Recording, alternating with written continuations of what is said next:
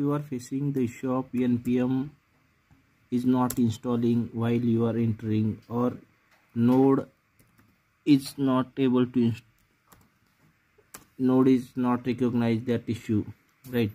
So make sure that you have installed the node in your computer. If you are not installed the node then you go to the node website and download the exe on based on your current configuration of your machine 64 bit 32 bit. From this node.js organization download and install that. And after installation you can restart the computer and you can able to access the npm or node packages. There is no issue after that.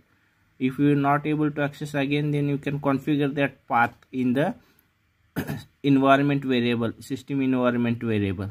Then you can you are able to access the this npm node node and npm packages. Yeah thank you